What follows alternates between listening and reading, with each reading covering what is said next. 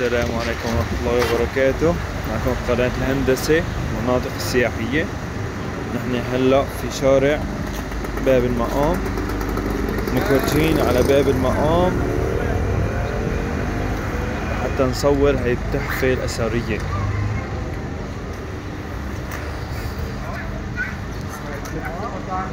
هذا الباب مثل ما انكم شايفين. كان عليه زخارف. ترجع للعهد المملوكي. شايفين هذا أول باب.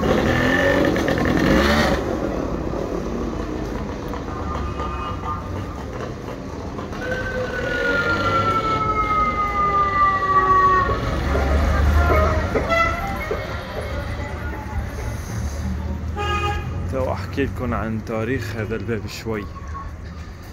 وليش تسمى بهالاسم؟ هذا الباب يرجع أنا ما قلت لكم بيرجع لأيام العهد المملوكي. كان عليه زخارف قبل.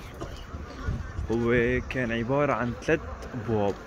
باب الكبير النصين اللي صورته. كان يدخلوا منه القوافل والفرسان يعني التجار. وكانوا المشاة يدخلوا من الابواب الجانبية مثل ما قلت آه،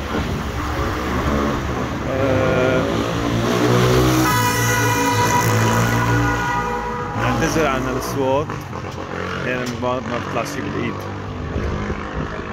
آه، نحن هلأ هيك متجهين على القلعة هو الباب تسمى باب المقام لأنه نسبة لمقام سيدنا إبراهيم الخليل عليه السلام.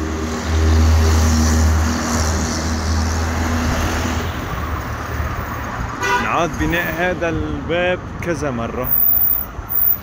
ي- تجدد أيام نور نور الدين الزنكي. ونعاد بناءه أيام حاكم حلب. الظاهر غازي. وخلصوا بناءه أيام ابنه العزيز بن ظاهر غازي. كلام أكثر من ألف سنة طبعا. إن شاء الله راح نصور فيديو مفصل في مك... في هاي المنطقة. نحكي عن أضرحة الأولياء الصالحين الموجودة هون.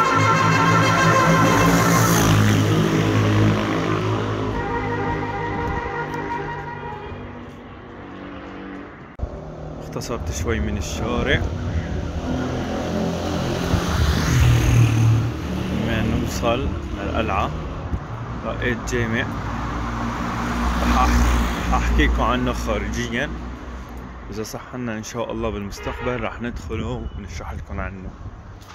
هذا مثل ما انكم شايفينه. هي المأذنة. سأقرب عليه كمان رح أحكي لكم أكثر. هذا جامع الطواشي.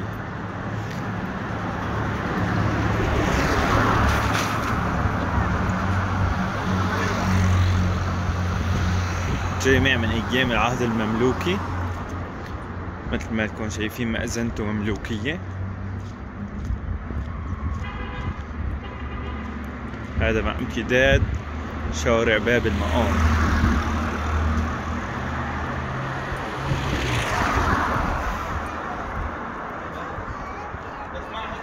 عليه زخارف ابواب مثل ما أنتم شايفين رح أقرب. في قبة مثل ما أنتم ملاحظين من فوق. أكثر من قبة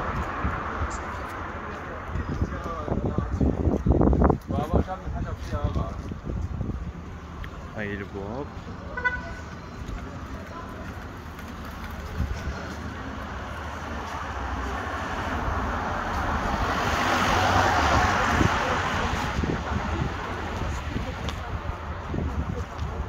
هاي لفوق الابواب شو شايفين. هاي الساقية مشان تصرف المي. وهاي المأذنة عندهم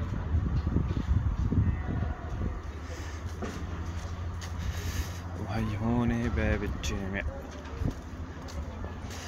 هاي هيك. الزخارف اللي من فوق. بعد شوي لورا بعيد كتير باب خشب. جامع طوات عهد المملوكي كتير جامع قديم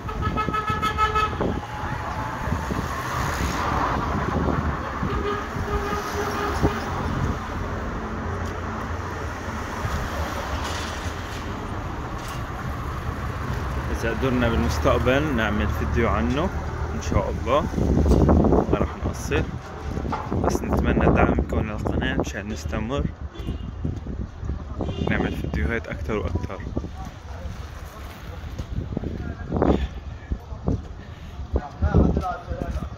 هون وصلنا على قلعة حلب.